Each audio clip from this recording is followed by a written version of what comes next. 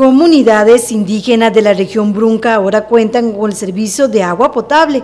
Estos proyectos impactan a 1.847 personas de Alto Guaymí, Alto Carona, El Progreso, Las Vegas, Los Plancitos, Alto Buriqui, Alto Río Claro y también la comunidad no indígena de Santa Rosa. Estos proyectos forman parte de la inversión estatal en Punta Burica en atención al voto número 202-12 de la Sala Constitucional.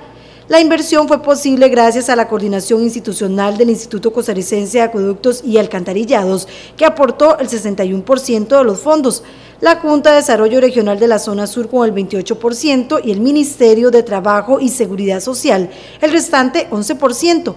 Veamos los datos. Las comunidades de Alto Burique se ven beneficiados 35 personas y la inversión es de 48 millones de colones.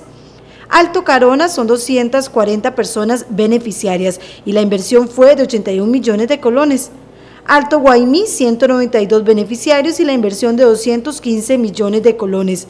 Alto Río Claro, 90 personas beneficiarias y 60 millones de colones la inversión. El Progreso, 480 personas beneficiarias y una inversión que llega a los 118 millones de colones. En el caso de la comunidad de Las Vegas, fueron 210 personas las beneficiarias y la inversión de las instituciones por 132 millones de colones. En el caso de los plancitos, 120 personas beneficiarias y la inversión de 190 millones de colones. Y en la localidad de Santa Rosa, 480 personas beneficiarias y una inversión de 104 millones de colones para un total de 1.847 personas beneficiarias y una inversión de 947 millones de colones. La presidenta ejecutiva de Acueductos y Alcantarillados, Yamileda Astorga, dijo que estos acueductos vienen a garantizar el derecho humano al agua en calidad y continuidad a las poblaciones prioritarias que anteriormente se abastecían de pozos artesanales y quebradas.